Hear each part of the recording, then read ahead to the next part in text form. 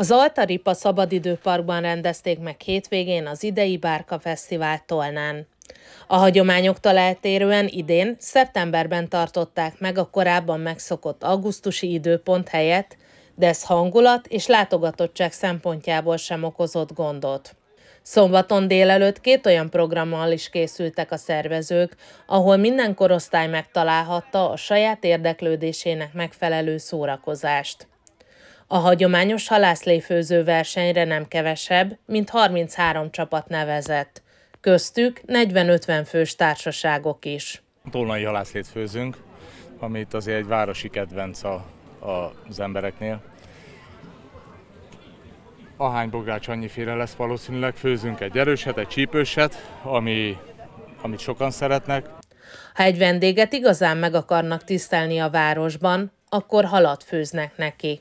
Ha valamit nagyon meg akarnak ünnepelni, akkor is. Titkos dolgunk nincsen. Ez tolnai halászlé, az a titok benne. Mint ahogy szokták mondani tolnán, hogy mit főzzek, akkor főzzünk halat. Na hát ez van. Én tolnai halászlevet mözséhek vagyunk, de hát tolnához tartozunk. Én tolnai halászlevet főzök. A park másik oldalán a Dunamenti Polgári Egyesület gyermekpiknik és családi nap eseményei folytak. Ezen a programon a térségből 15 település képviseltette magát, mintegy 400 résztvevővel.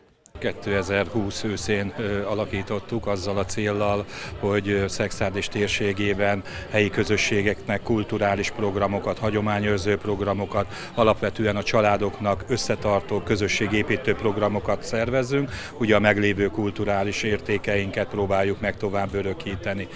A gazdag kínálatú gyermekprogramok mellett a felnőttek bográcsolással és jó hangulatú beszélgetéssel mulatták az időt. Horváth István országgyűlési képviselő és Horváth Kálmán főispán is a szakácsok között volt. Azt gondolom, hogy majd összeül a, a, a zsűri, és olyan szempontokat fogunk ö, ö, majd meghatározni, amik relatív objektívek. Tehát, hogy milyen a színe, milyen az át, állaga, ö, milyen a, a sója, szét van-e főve a hal, vagy nincs-e szétfőve a hal. És hát nyilván ezek az objektíven kívül ö, minden főzőmesternek megvan a maga specialitása, ö, ezért majd lesznek valószínűleg szubjektív elemek is. A délutáni program Appel Soffer Ágnes polgármester köszöntőjével és sörcsapolásával indult, így a nagy melegben felüdülésre vágyók is felfrissülhettek egy finom csapolt sörrel a kezükben. Az kétségtelen, hogy ez egy nagyon nagy és nagyon sikeres rendezvény a városnak, és nem csak a városban élők, hanem elszármazottak, vagy a környéken élő településre élő, élők is látogatják a fesztivált és nem csak a programokban, hanem úgy tűnik, hogy nagyon sikeres az idén a, a halászléfőző verseny is, hiszen ha jól tudom, 33 csapat nevezett, tehát legalább ennyi bográcsban fő a hal. Tolnának, mint itt a Dunamenti településeknek nagyon fontos étele a halászlé, és én kíváncsian várom, hogy ki lesz a győztes.